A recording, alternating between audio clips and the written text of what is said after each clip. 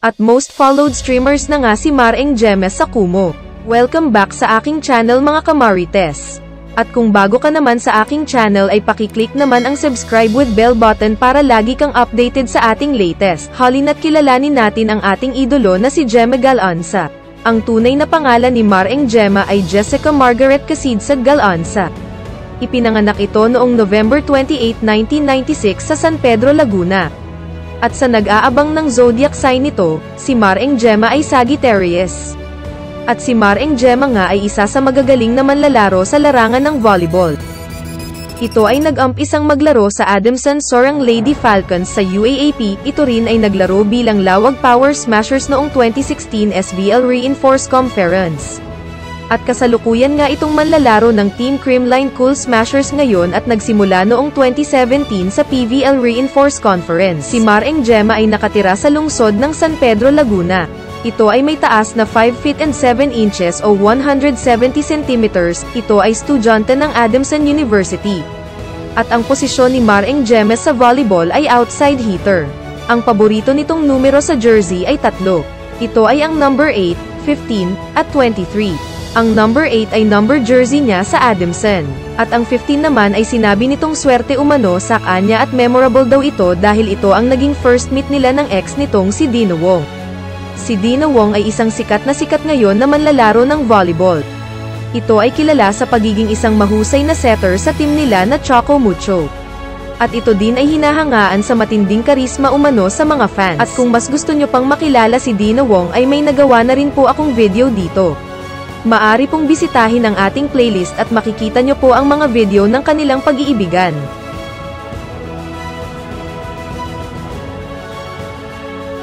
At kamarites baka hindi ka pa nakakapag-subscribe ay i-click mo na yung subscribe with bell button para lagi kang updated sa latest kay Mareng Gemma at Dina Wong. Dahil ayon sa mga fans pag nagtanggal daw ng kanyang mask itong si Dina Wong at ngumiti ay talagang naghihiyawan ang mga fans nito at isa rin hinangaan dito ang pagkakaroon nito ng mabuting puso sa mga fans at lalo na sa pamilya nito, kaya hindi maialis na na-in love ng husto si Mareng Gemma dito.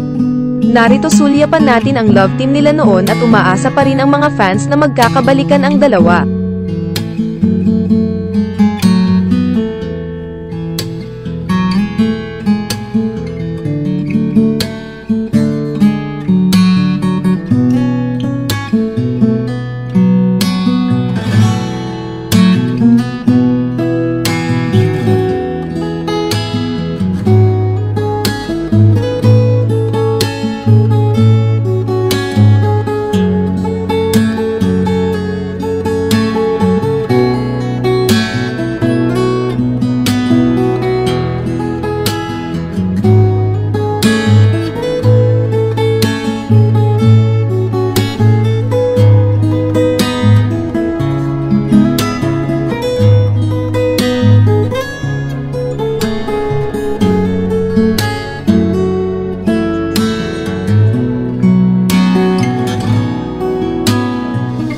Nang maghiwalay nga ang dalawa ay nagpalit na ng jersey si Mareng Gemma na number 23 ngunit ayon sa mga fans nila ay may koneksyon pa rin ang 23 sa mga nakaraang numero nito.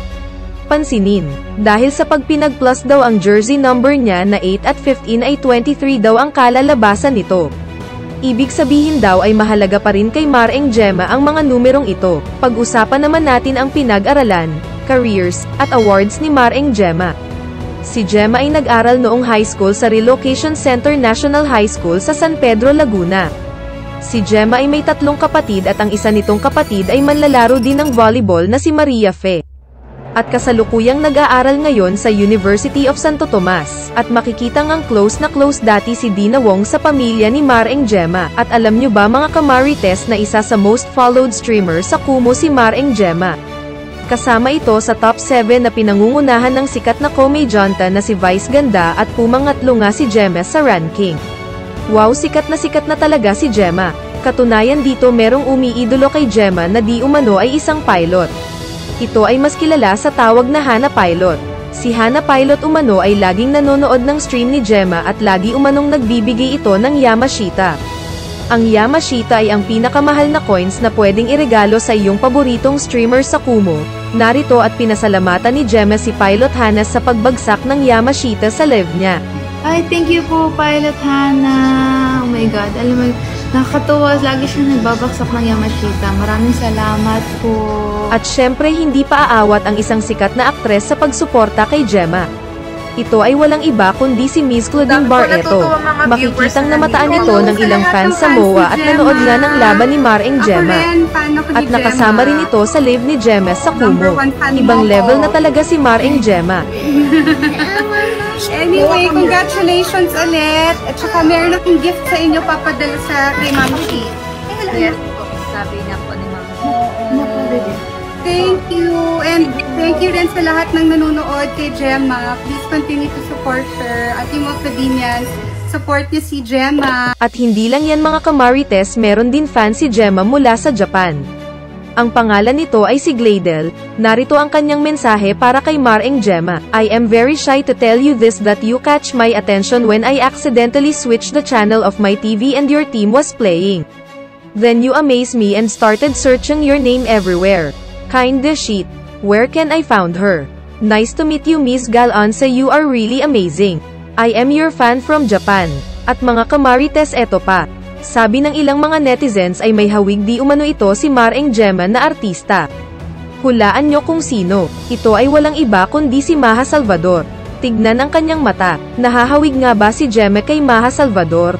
Comment nyo naman guys. At napakalupit talaga ni Mareng Gemma.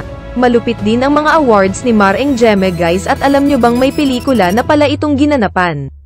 Pero bago ang lahat mga kamarites kanina pa tayo magkakwentuhan dito. Baka hindi ka pa nakaka-subscribe kaya i-click mo na yung subscribe with bell button. Para naman lagi kang ma-update sa ating latest kay Mareng Gemma o Dana Wong. At eto na nga alam nyo bang kasama si Mareng Gemma sa nag-champion ng dalawang beses sa UAAP Season 76 sa beach volleyball tournament laban sa University of Santo Tomas. Ito naman ay naging captain sa Adamson Lady Falcons noong Season 80. Si Mareng Gemma ay nakapaglaro na rin sa bansang Thailand noong 2018 sa Asian Women's Volleyball.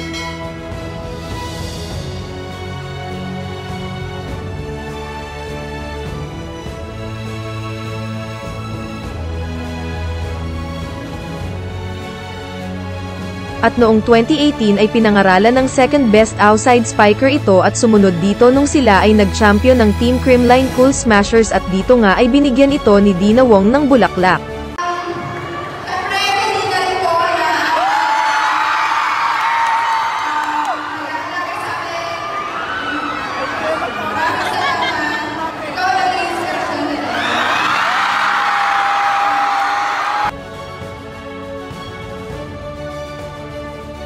At narito pa ang awards ni Mareng Gemma.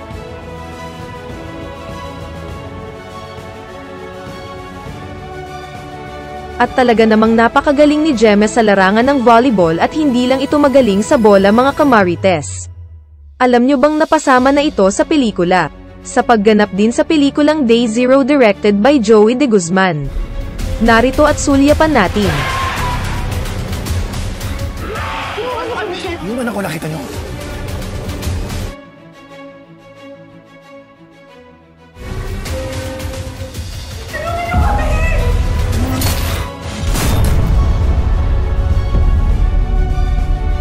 At naimbitahan na rin si Mareng Gemma sa programang noon time show ang Eat Bulaga. Grabe na ang achievements ni Mareng Gemma kaya naman napakarami niya talagang tagahanga. Naway magsunod-sunod pa ang kanyang mga projects at pagsikat. At narito ang sigaw ng kanyang mga fans.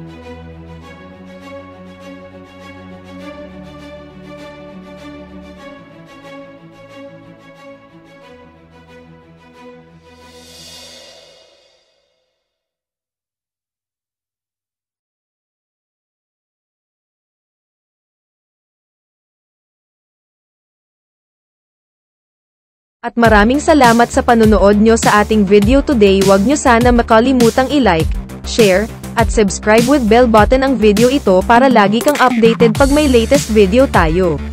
Maraming salamat po.